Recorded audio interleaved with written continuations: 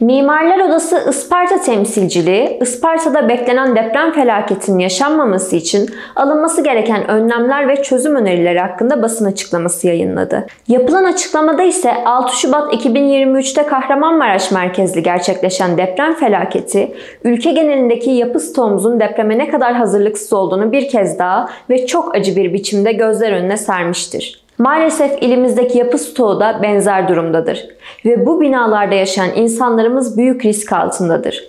Buna rağmen hala ders ve tedbir almak için vakit vardır. Yaşadığımız deprem felaketinin ardından Isparta'nın mimarları olarak odamızda bu konuda geniş katılımlı bir istişare toplantısı gerçekleştirdik. Üyelerimiz tespit ve önerilerini sundular. Hepsini tartıştık ve madde madde not aldık. Bugün 11 ilde yaşanan deprem felaketinin yarın Isparta'da da yaşanmaması için ivedilikle önlemler alarak hazırlanmalıyız.